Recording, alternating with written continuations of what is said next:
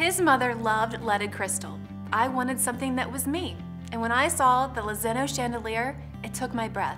It's made of draped jewelry chain, finished in a dark oil rubbed bronze with gold highlights. It's rich and warm. I wish you could touch it. It moves. It's jewelry for the house. My kind of jewelry.